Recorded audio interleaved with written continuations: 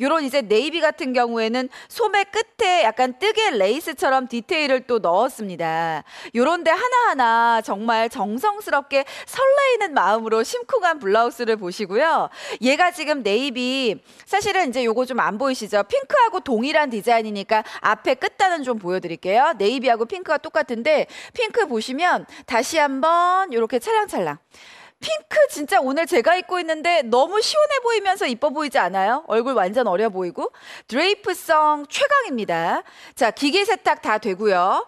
앞에 제가 좋았던 게 소진 씨 여기가 여기가 이제 딱 가려지는데 음. 이런 식으로 약간 단작처럼 이렇게 layered가 되어 있어서 이쁘더라고요. 복부 어, 체형 커버도 떨어진 게 아니라. 되고요. 음. 저걸 접어서 넣어 입으시면 음. 다리도 굉장히 길어 보이고 네. 빼서 입으셔도 옆 트임으로 라운드지게 공정을 고급스럽게 음. 넣어드려서 음. 옆선에서 봐도 앞쪽에서 봐도 layered하게도 굉장히 좋으실 것 같아요. 네. 그래서 핑크도 역시 네이비하고 똑같이 소매 끝에 이런 식으로 레이스처럼 이쁘게 들어가 있으니까 팔뚝살도 어느 정도 커버하시면서 여기도 신축성 되게 좋거든요. 다 늘어나거든요. 편하게 한번 입어보세요. 자, 두 가지가 동일한 디자인이고 또 다른 이제 두 가지로 넘어가겠습니다. 그레이하고 블루인데 그레이 같은 경우에는 여름에는 또 너무 칙칙하면 안 좋잖아요. 어두워 보여서. 그래서 조금 더 밝은 톤으로 역시나 앞판에는 블라우스 같은 느낌의 소재가 들어가 있고요. 뒤에는 뒤에는 보시는 것처럼 사실 얘가 제가 걸려 있는 걸로 보여드릴게요. 뒤에가 잘 나온 게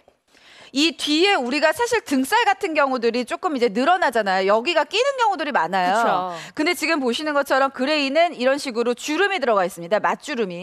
그러니까 한 번 더 여유 있는 공간 처리가 된 셈이에요. 뒷 라인도 이쁘기도 하고. 그리고 신축성 있게 지금 이렇게 에코실 소재로 쫙쫙 늘어나는 거. 자, 약간 melange한 그레이 컬러로 뒷판이 들어가 있고 앞에는 세련되고 고급스럽게 이렇게 찰랑거리는 소재. 자, 지금 주문 되게 빨라요. 사이즈만 결정하시 면 다 드립니다. 6만 원대에서. 자, 그다음 오늘 소진 씨가 착용하고 있는 스카이 블루 컬러. 아, 이건 진짜 놀러 갈 때 입어야 되겠다. 컬러감이 네. 굉장히 시원해 보이죠? 입는 순간 요즘에는 긴팔이 눈에 안 들어오잖아요. 어. 찰랑찰랑찰랑 소재마저도 시원하게 패턴마저도 시원하게 입어보셨으면 좋겠어요. 네, 하나만, 그냥 하나만 그냥 간 단하게 입어도 너무 시원해 보이는 지금 에코실 블라우스. 자, 두 개가 또 남아 있어서 기본으로 이제 우리가 black and white를 찾잖아요. 여름에도 이제 black and white를 입는데 그쵸. 얘는 진짜 진짜 블라우스 뭐 단추 하나 풀러 놓은 것처럼 커팅이 다 들어가 있어요. 이 커팅 자체가 과하지 않은 V-neck 커팅이라서 좋으실 것 같고요.